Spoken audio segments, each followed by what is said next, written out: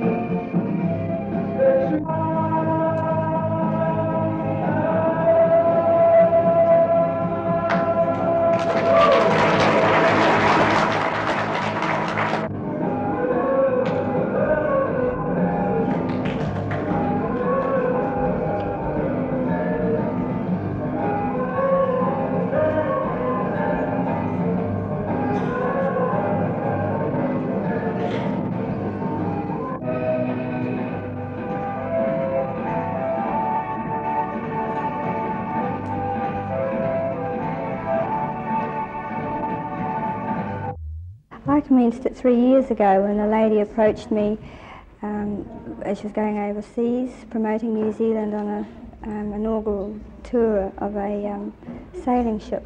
And uh, she wanted a, a, her wardrobe to be on authentic Maori designs. And I incorporated into modern designs. But I don't think New Zealand was ready for them then. I was a little bit before my time. Now, as a designer who's had some experience using Maori designs in fashion wear, uh, what do you feel about its potential?